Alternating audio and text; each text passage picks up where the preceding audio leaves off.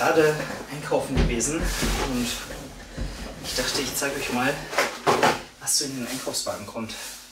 In der Off-Season. In der Off-Season. Wenn alles erlaubt ist, wenn man alles in sich rein stopfen kann, was man möchte. Aber, oh Gott. Jetzt war ja Ostern und dementsprechend alles zu. Heißt, es ist so einiges in den Einkaufswagen gekommen, das jetzt nicht mehr im Kühlschrank war. Denn, äh, ich kann euch mal den Kühlschrank zeigen. Der sah, äh, der sah so aus. Beziehungsweise so leer ist er gar nicht. Also, es könnte schlimmer sein. Aber ja, wir haben hier auf jeden Fall nur noch ein paar Eier, ein paar Tomätchen, Erdnussbutter, ja, und ein äh, bisschen Quark, ein paar Gürkchen und äh, ja, ein bisschen Milch und Co. Natürlich hat man auch noch mal das ein oder andere im Vorratsschrank, das sowieso, ähm, aber better safe than sorry, ne? So, von daher schauen wir mal, was hier so drin ist. Die liebe ich ja. Also Exquisa Fitline ist ja, ist ja das Bodybuilders Dream, weil super cremig, die ganzen, sind das, ähm, Stabilisatoren oder so, die machen das schön, schön so cremig und äh, Johannisbrotkernmehl, Guarkernmehl, Karagen, beste. Dann ein äh, bisschen Quecksilber auf die Hand. Drei Dosen waren im Angebot und passen immer hervorragend in äh, meinen Rahmen. Magerquark, Körniger Frischkäse, 2 Kilo Gala-Äpfel, weil Gala Royal bester Apfel überhaupt. Versucht gar nicht überhaupt irgendwas anderes zu sagen. Drei ähm, Fläumchen. Ja, drei Fläumchen. Und dann, last but not least, gefrorener Brokkoli. Auch für Rahmen sehr, sehr nice. Kurz in die Mikrowelle, ein paar Mikros tanken, Bio-Karotten zum Snacken und dann ebenfalls fürs Abendessen ein paar Edamame, wie gestern oder im letzten Vlog schon angesprochen. Sehr praktisch für ja, alles ums bisschen mit bisschen Greens, bisschen, bisschen fürs Auge und ein äh, paar Proteins äh, dazu zu stecken. Noch eine Paprika, drei davon. Benähnchen, nur fresh aus dem Kühlschrank. Keiner wissen Bescheid. Und äh, ein bisschen äh, ein paar Frühlingszwiebeln. Ja. Und das war es eigentlich schon. Und äh, so sieht das Ganze dann hier aus.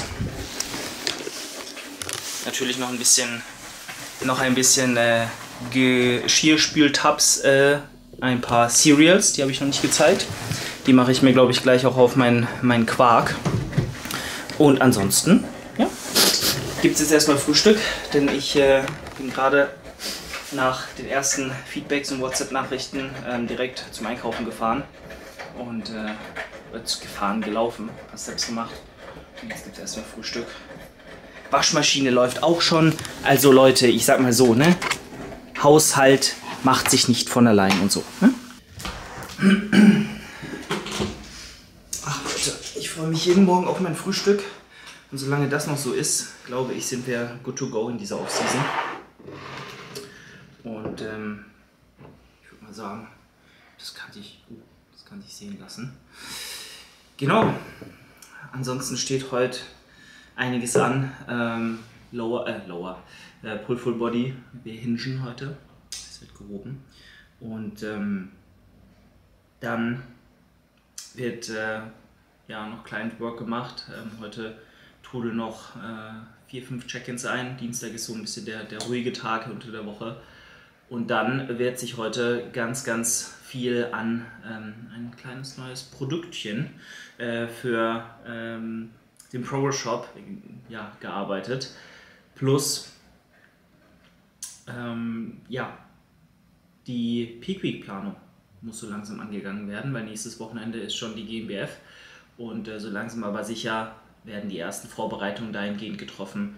Ähm, und das wird spannend. Wird spannend, weil es halt auch die erste Peak Week Planung ist, die ich überhaupt mache. Und da muss ich mich dann wirklich auch nochmal absprechen mit, mit dem Team, einfach um da auch nochmal eine zweite Meinung einzuholen, was super wichtig ist, dass man sich da auch bereit erklärt, sich einzugestehen, wann man vielleicht auch Hilfe gut gebrauchen kann. Und ähm, auch wenn ich jetzt mittlerweile schon, ich glaube, acht Peak Weeks hinter mir habe ähm, und auch schon das ein oder andere Protokoll von, von Jan mit äh, erlebt habe, auch von Teammitgliedern aus, aus Team Frisse, ist äh, es dennoch immer noch mal was anderes, wenn man das selbst von Null auf plant und da mit, mit wirklich kompetenten, sehr, sehr versierten Coaches, die schon einige Season hinter sich haben, sprechen zu können. Hm, ist super wichtig und hilft mir auch in der Confidence dessen, was ich dann letztendlich auch an meine Kunden weitergebe. Ähm, genau, freue ich mich aber drauf, wird gut und äh, ja, das äh, steht dann wie gesagt heute noch an. Jetzt aber erstmal hier das wundervolle Frühstück mit, was ist hier drin? 500 Gramm Magerquark, bisschen Wasser, bisschen Salz, bisschen Süßstoff, bisschen ähm, äh, Tasty von, von Quantum Leap, das Vanille Tasty ist so geil, es ist unfassbar lecker. Das Sahne, die Sahne-Variante ist noch besser im, im, Quark, weil sie noch ein bisschen geschmacksneutraler und ein bisschen passender einfach ist. Sahne und Quark, denke ich, passt ganz gut. Und ähm, das ist momentan ausverkauft gewesen. Ich muss gleich mal gucken, weil meine Monatsbestellung kann ich eigentlich auch schon machen. By the way, danke an alle, die mit meinem Code bestellt haben. Das hilft mir wirklich enorm.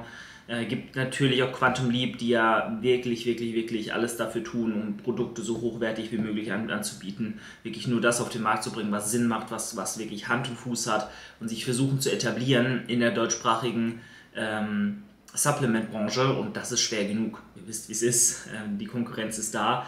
Und ähm, ich bin so happy, Teil des Teams zu sein, weil ich die Vision dahinter auch gerade was ähm, die Geschäftsführung angeht, was die Mitarbeiter angeht, und alles, was dazu gehört, einfach nur feiere. Und ähm, das ist wirklich produkttechnisch, qualitätstechnisch das Nonplusultra, was ihr bekommen könnt in Deutschland.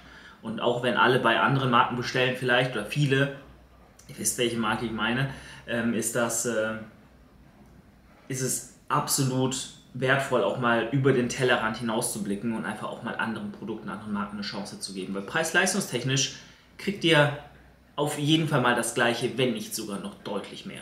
Und ähm, da sollte man sich dann weg mit seiner Fanboy äh, festgefangenen Ansichtbrille ähm, mal begeben und auch mal andere Marken ausprobieren und dem Ganzen eine Chance geben. So. Mhm. Dementsprechend, wie gesagt, 500 Gramm Magerquark, bisschen Wasser, Süßstoff, äh, 200 Gramm Beeren, eine Banane, ein Apfel und so ein paar Simi-Minis 15 Gramm ungefähr. Ich muss sagen, ich wiege das auch nicht alles ab. Das ist alles grob überschlagen und ähm, hat bis jetzt auch gut geklappt. In der Offseason ist sowas völlig in Ordnung. Einen Apfel da rein zu tracken mit 150 Gramm, wenn der ein bisschen größer ist. Wenn er ein bisschen kleiner ist, macht die 120, 125 draus. Dann so eine Tasse Beeren, das kann ich auch gut abschätzen. Das sind so zwischen 150 und 250 Gramm. Eine Banane ist auch äh, meistens standardisiert groß, und die Hälfte der Packung sind die Minis, das waren jetzt 30 Gramm in einer kleinen Packung. Das sind jetzt hier 15 Gramm um den dicken Daumen und dann passt das auch. Da muss man sich auch nicht verrückt machen. Meine Milch, die ich in Kaffee mache, wiege ich auch nicht ab. So, dann mache ich halt am Tag, track ich 150 Milliliter Hafermilch ein und das kommt gut hin. Die Erfahrungswerte hat man irgendwann. Und in der Prep, in der Diät, würde ich sowas niemals tun. Also da will ich halt nichts im Zufall überlassen, aber ob ich jetzt mal hier ein paar mehr Kalorien, da ein paar weniger, im Aufbau äh, nach sechs Monaten Off-Season esse, so what. Also ihr wisst Bescheid. Und damit ne, wird sich das jetzt hier genehmigt und ich wünsche Spaß. Wir sind jetzt äh, mittlerweile schon ja, nach drei. Wir sind nach drei. Wir haben nach drei. Ich bin, Kopf, Kopf ist leer. Und ähm, die Zeit wurde in der Zwischenzeit sehr, sehr produktiv genutzt. Ähm, zum einen wurde Wäsche gemacht schon die zweite Wäsche, weil ich übers Wochenende nicht da war und sich einiges angehäuft hat. Und wir haben endlich die Bilder an der Wand. Und zwar, ja, mit ein paar Kratzern und noch ein bisschen Staub dran. Aber immerhin ähm, sind sie jetzt mal hier halbwegs gerade. Mit meiner krassen handwerklichen Fähigkeit äh, sind sie an der Wand. Einmal BNBF ähm, äh, Northern, BNBF Germany dann die sagenumwogene, ultra beschissene Europameisterschaft äh, der GNBF, der INBA. Dann hier einmal die Evo Classic und ich glaube, das äh, werde ich hier stehen lassen, einfach weil es so schön hier reinpasst. Die WNBF UK. Der tollste Wettkampf, auf dem ich je war. Diese Medaillen sind auch so nice einfach. Ich, ich würde niemals irgendwas gegen diese Erinnerungen eintauschen. Erinnerungen sind halt doch einfach das absolut Schönste. Und dann, oh, perfekt, fast das Klappdisplay hier abgehauen, haben wir die Zeit noch mit Peak Week Planning und einem Showday Plan, Planner, äh, dem, äh, Erstellen eines Showday Planners verbracht, eines äh, Showday Protokolls. Und ähm, ja, hier könnt ihr sehen, wie das Ganze aussieht. Und zwar haben wir ja, hier ähm, Armins Showday-Plan bzw. Planner, da ist noch nichts hinterlegt. Aber ihr seht hier zum Beispiel den Tagesablauf.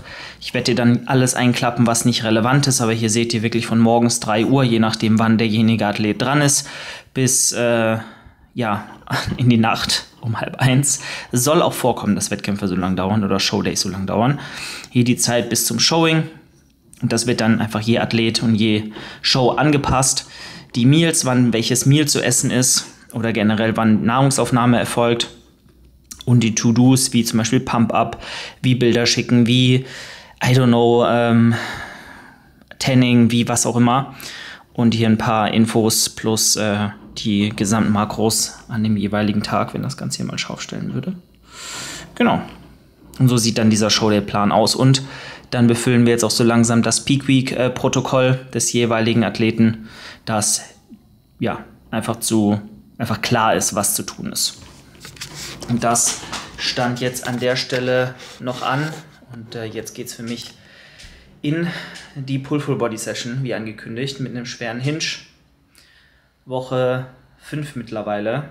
Und ähm, ab Freitag geht es in Woche 6, in Trainingswoche 6. Und dann äh, ja, neigt sich der Zyklus auch so langsam dem Ende zu, weil ich bin gut tot.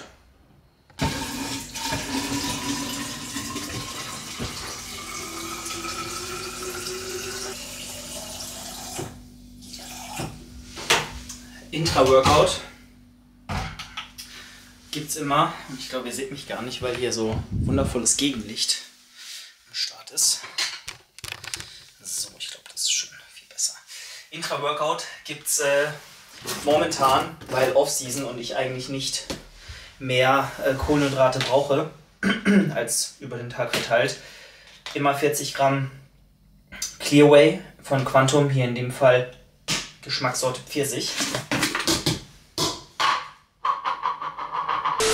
Und ähm, ja, das ist eigentlich so der Staple seit je und her. Je und Leute, ich bin durch. Seit eh und je, ich glaube schon seit mehreren Jahren, habe ich immer ein Clearway einfach im Training.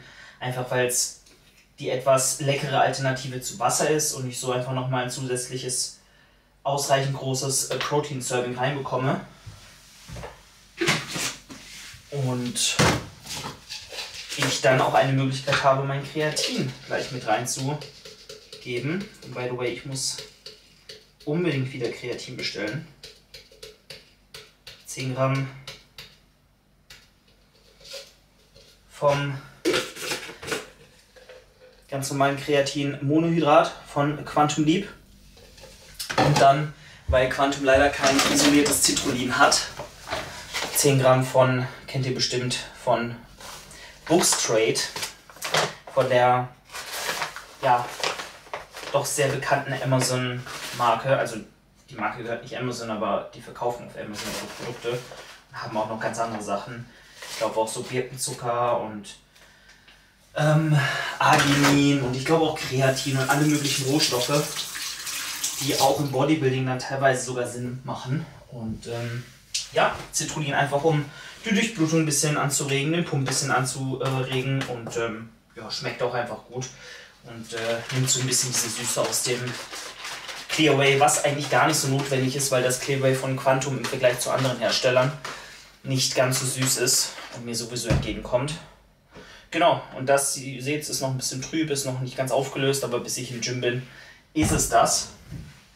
Und für auf dem Weg gibt es äh, gleich noch einen Apfel. Wundervoller Apfel. Und ja, dann sehen wir uns gleich im Gym. Freue mich drauf. Wird eine hoffentlich gute Session. Ah ja, und wichtig, natürlich gibt es auch noch ein Wegmonster. Weil gab ja heute erst zwei große Tassen Kaffee und ein Monster. Also unter zwei geht hier sowieso gar nichts, ne? Wisst Bescheid. I don't know, ob das hier mit dem Ton so klappt, wie ich mir das vorstelle, aber wir fangen jetzt hier an mit vier Sätzen Y-Raises, die ich erst letztens ausgetauscht habe gegen äh, die, äh, das Seitheben habe ich erst letztens ausgetauscht, also das äh, unilaterale Seitheben. Oder ich weiß nicht, nee, es waren unilaterale Y-Raises im Stehen, so rum. Und äh, die habe ich rausgenommen im Trade-off gegen äh, eben diese bilaterale liegende Variation, weil Zeiteffizienz.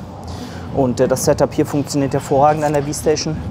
Wichtig, äh, vorher erstmal eure Uhr abzumachen, sonst wird das schwierig mit den Fußschlaufen, was es ja eigentlich ist. Es sind ja eigentlich Fußschlaufen. Und äh, ja, dann müsst ihr euch nur noch hinlegen, den Kabelzug auf die richtige Höhe einstellen und dann könnt ihr das wundervoll bilateral machen, spart Zeit, habt ein super stabiles Setup im Liegen, was nochmal eine Nummer stabiler ist als im Stehen meiner Meinung nach. Und äh, habt eine wundervolle Übung für den Zeitart. Und das werden wir jetzt hier mal machen und mal schauen.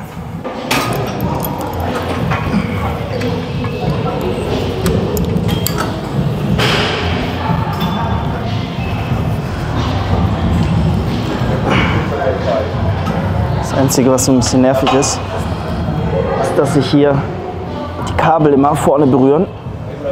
Deswegen bietet es sich an, die Schlaufe einmal etwas höher und einmal etwas niedriger zu positionieren. Und jetzt äh, halte ich meine Fresse, weil es ist nicht mehr so viel mitreden.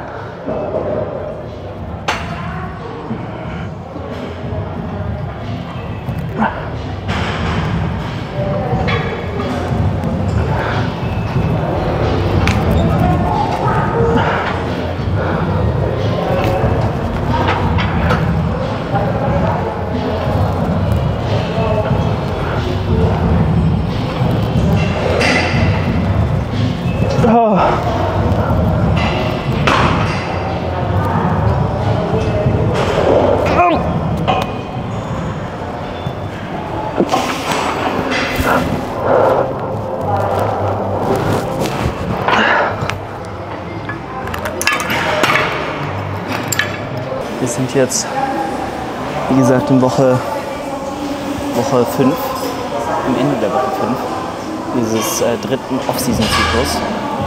Schon, schon drei Zyklen, drei volle Zyklen in der Box, das ist kaum zu glauben.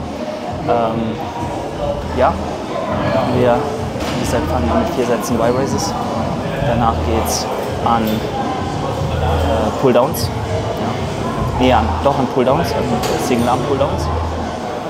Dann haben wir zwei Sätze Lying Curls oder drei. Und dann geht es ans Hingen. Heute wird wieder nach den Sternen gegriffen. Denn der All-Time PR äh, ist in greifbarer Nähe. Muss mal gucken, was heute eigentlich ansteht. Aber es sind auf jeden Fall über 205 Kilo. Das ist schon viel für mich. Schon ordentlich. Also so stark war ich noch nie, glaube ich, im Heben. Und äh, Sky ist the limit, würde ich sagen. Oder bis mein Rücken bricht. So wie so ein Streichholz in zwei, zwei Tagen.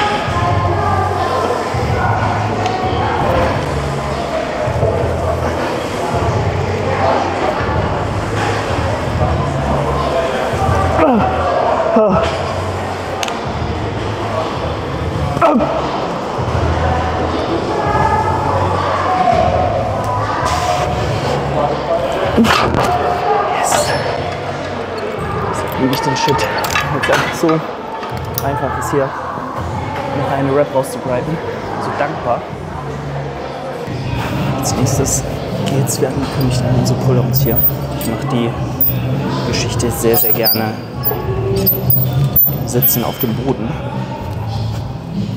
Einfach weil ich so deutlich mehr Stabilität habe, näher beim Kabelzug bin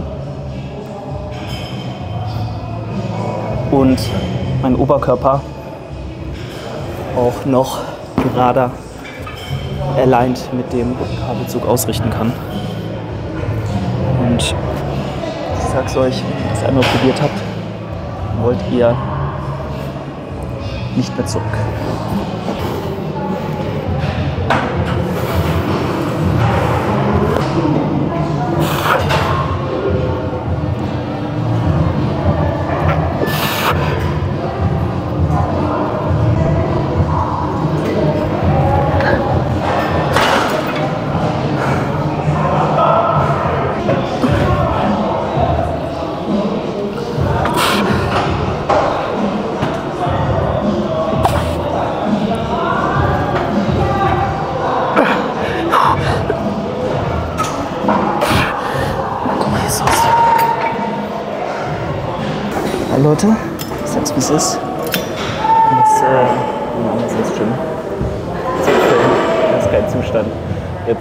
17 Uhr, 17.30 Uhr und jetzt kommen natürlich alle Leute in Arbeit. Wer hätte es gedacht? Wie gesagt, so viel. Hier werden noch mal ein paar Leute durch die Cam laufen. Und die Chance, dass sich jemand beschwert, liegt auch bei soliden 40 bis 50 Prozent. Deswegen mal schauen.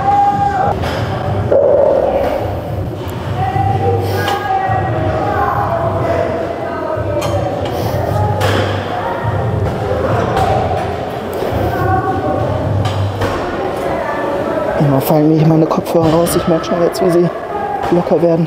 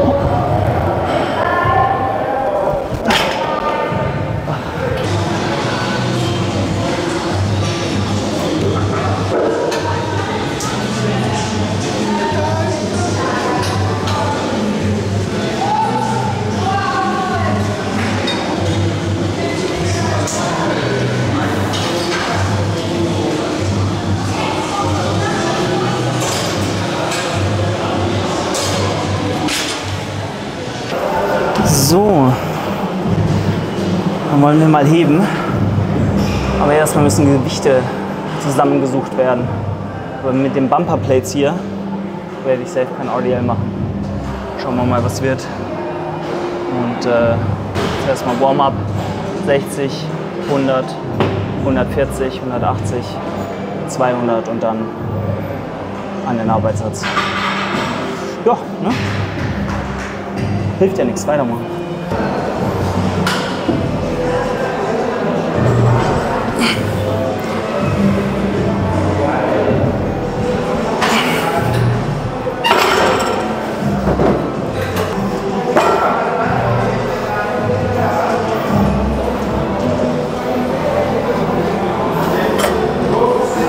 Spannende Nummer.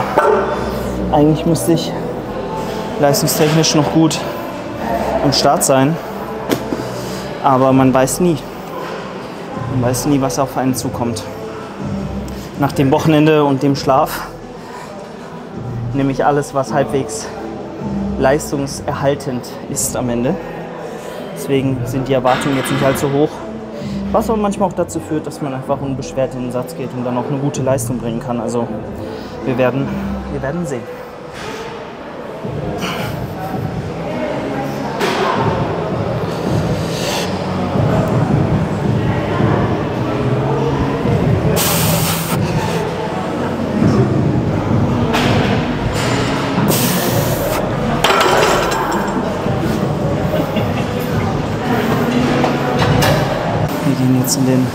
Ersten Warm-Up-Satz. Schauen mal, in den, ersten, in den letzten Warm-Up-Satz. Schauen mal, wie sich die 200 hier bewegen. Und äh, ja, dann gucken wir mal. 207 heute. 8 wären nice, 7 nehmen wir natürlich auch. Und äh, ja, mehr als probieren können wir es nicht. Was nicht bedeutet, dass ich nicht Vollgas gebe. Alles daran setze hier, um einen draufzulegen in diesem Zyklus. Also let's go.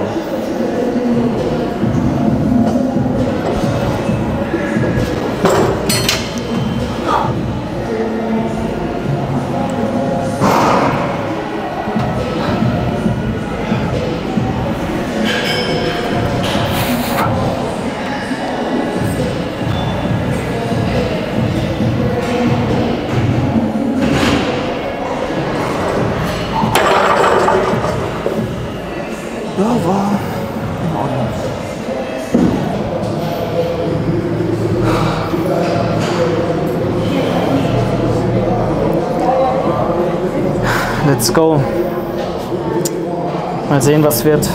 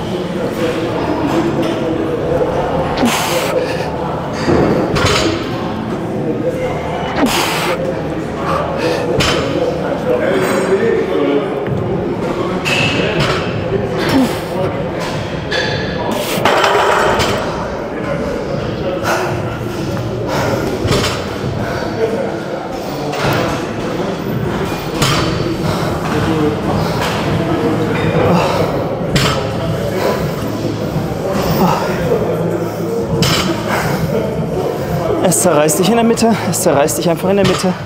Ich habe natürlich vergessen, eine Klammer drauf zu machen. Also technisch gesehen war es gar kein PR. Äh, Jesus. Jesus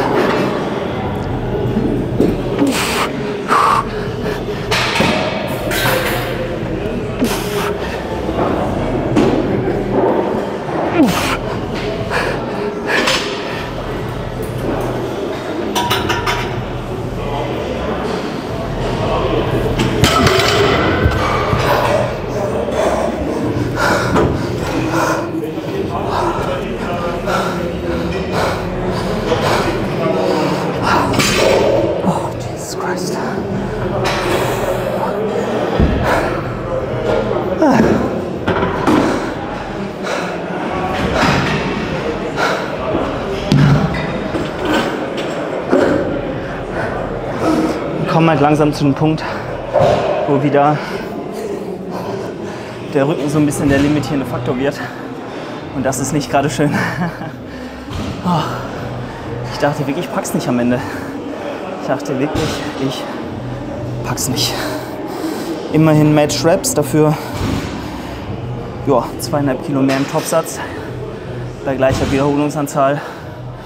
Overall Progress plus die Pausen waren du durchaus akkurat. Könnt ihr ja mal in die Kommentare schreiben. Wobei, ob sie akkurat waren oder nicht, sehe ich dann auch immer erst im Videoschnitt. Naja, Hauptarbeit ist in the books. Jetzt gibt es ein bisschen Rudern und äh, ich glaube ein paar Upper Back Pulldowns plus ein bisschen was an der T-Bar. Dann ein paar Hammer Curls und dann gehen wir nach Hause. So fertig mit der Welt. Hui. Aber macht Spaß. Noch macht Spaß. Einmal heben haben wir noch vor, vor den Wettkämpfen. Höchstwahrscheinlich. Ja, nächste Woche. Nächste Woche Dienstag. Und dann äh, werden wahrscheinlich die 210 fliegen. Das äh, ist auf jeden Fall ein Meilenstein bei dem Körpergewicht. Zwei Sätze Close Group Rows. Tatsächlich schon mit 173 Kilo. Eine kurze Pause im Umkehrpunkt vorne und äh, ja, mal sehen, was wird. Letztes Mal die Rep Range voll gemacht. Wenn es diesmal 9 oder 10 Reps werden, völlig in Ordnung. Wichtig hier, Oberkörper aufrecht lassen, Schulterblätter neutral und zur Hüfte ziehen.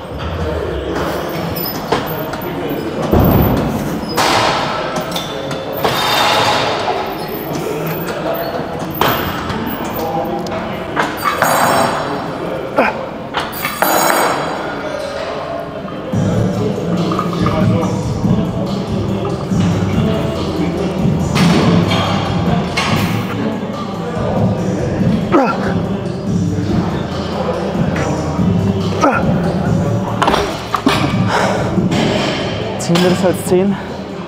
Ich weiß nicht. 9,5 gebe ich mir. Der Upper Back Pulldown hier ist halt wirklich eine Übung, die so undankbar ist am Ende vom Training, weil gefühlt kein Progress mehr geht, aber gar nichts. Und äh, der Oberrücken von den RDLs einfach schon so fried ist, dass, dass man es eigentlich komplett vergessen kann. Aber hey, wir probieren es jede Woche. 13 wurden es in der letzten und jetzt äh, schauen wir mal, was wird.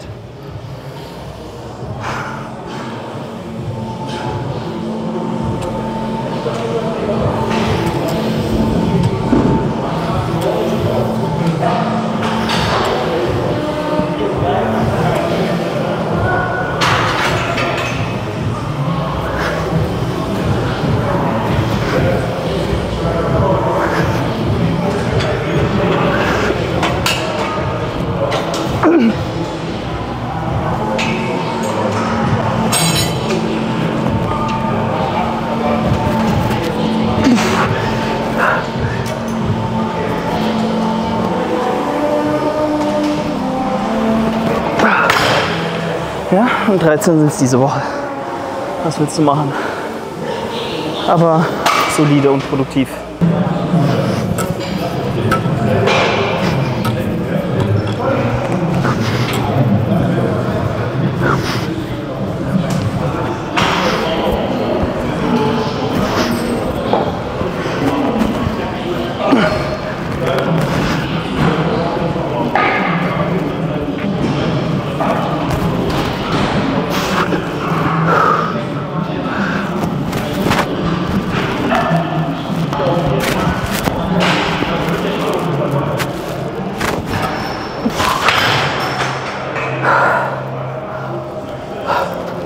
Mein Rücken fühlt sich ziemlich matschig an.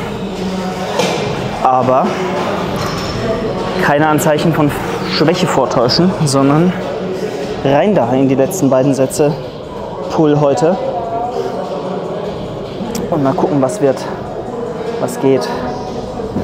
Schauen wir mal.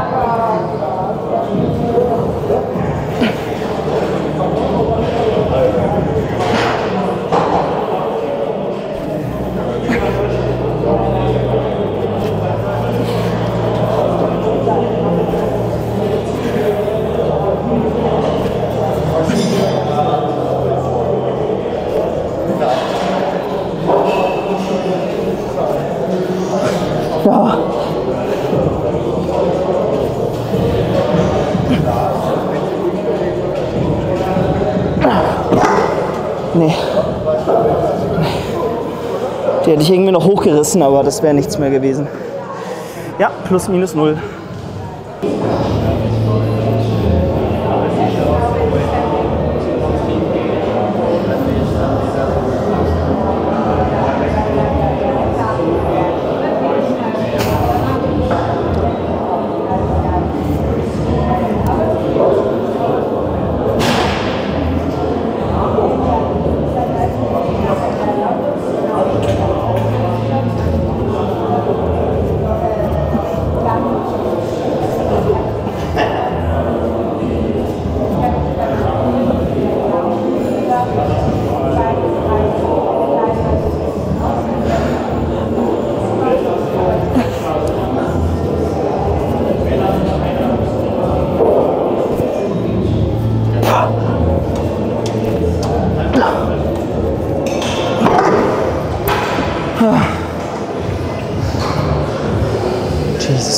Ich bin einfach, einfach so dann. Jetzt noch ein paar Mal Curls und dann äh, war es das auch für heute. Auch Essen.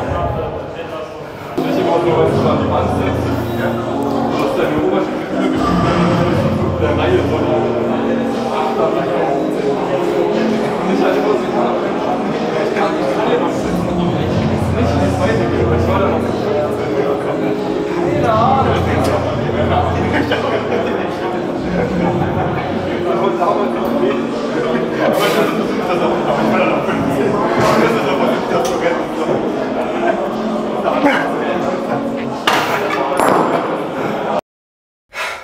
fühle mich wie der letzte Mensch. Wer hätte es gedacht? Naja, jetzt gibt es erstmal ähm, 65 Gramm Tasty Way in der Geschmacksrichtung Haselnuss Krokant. Auch eine neue Sorte. Auch eine neue Sorte von Quantum. Habe ich noch nicht probiert. Wir machen jetzt mal den Geschmackstest und dann geht es noch an ein, zwei Check-ins, bevor dann auch das Abendessen ansteht. Denn wir haben schon halb acht. Ich habe es einfach nicht früh ins Gym geschafft und wenn ich filme, dann dauert eh alles immer doppelt so lang. Deswegen mal probieren. Uff. Mhm. Mhm. Das ist nicht so schlecht. Ich muss sagen, so Schoko, Schokogeschmäcker und Haselnusskrokant geht ja in die Richtung, so ein bisschen Nutella-mäßig. Sind oft nicht ganz meins. Ich gucke mal in dieses Display hier, aber ich muss eigentlich nicht gucken. Ähm, aber kann man machen.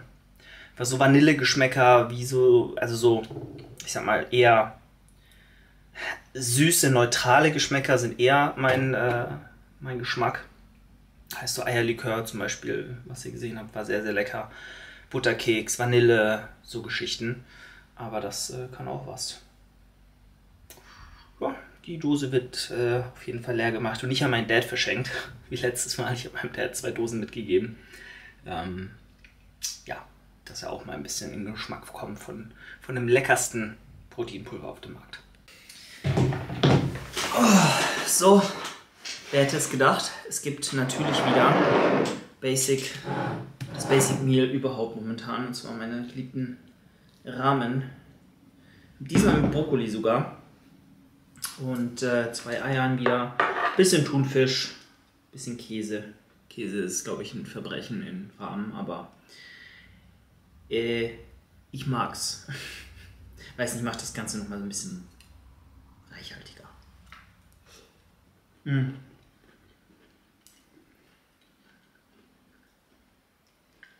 Könnte sein, dass der Brokkoli noch ein bisschen gefroren war. Naja. Sind auch noch schön alle Nährstoffe enthalten. Ist auch was Gutes. Mm. Ja, und das war eigentlich heute auch schon der Tag. Viel Arbeit, viel vorm Rechner sitzen. Das Training hat mich auseinandergenommen man darf nicht unterschätzen, wie viel Arbeit es ist, Videos zu drehen. Allein so einen Vlog zu machen. Also ich habe da, das ist extrem heftig. Ich, also das habe ich mich eh schon immer gefragt und das ist wirklich, also wirklich Wahnsinn, wie Chris es schafft, so viel Content, so viel, so viele Insta-Stories, so viel Leistung in allen Bereichen zu bringen, also Christian Quest,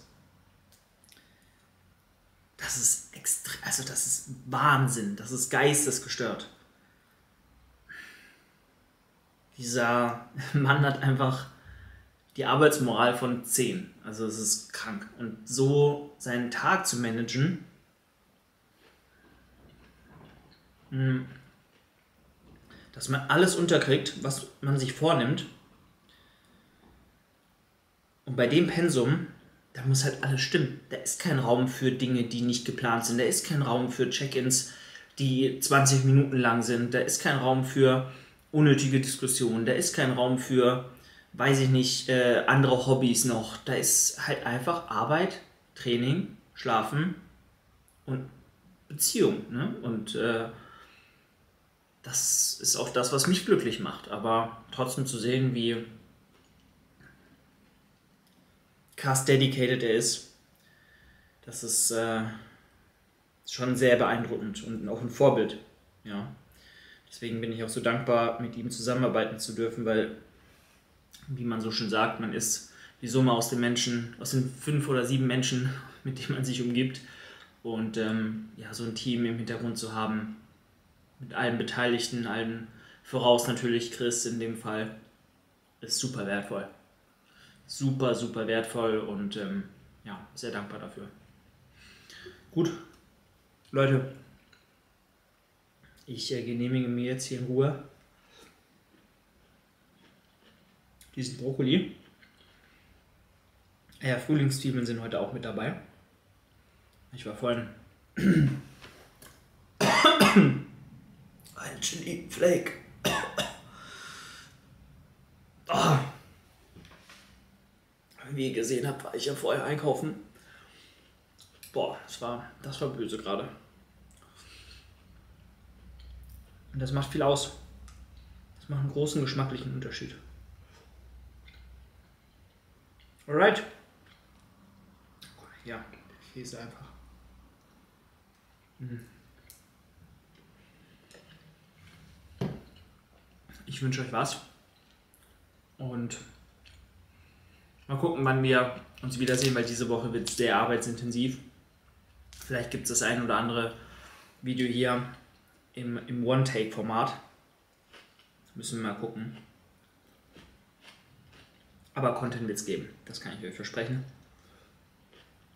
Denn nächstes Wochenende ist die Newcomer-Meisterschaft und damit die erste Show. Und da wird auf jeden Fall, auf jeden Fall einiges kommen. Ich freue mich so sehr drauf. Das wird wirklich richtig gut. Also Leute, macht's gut.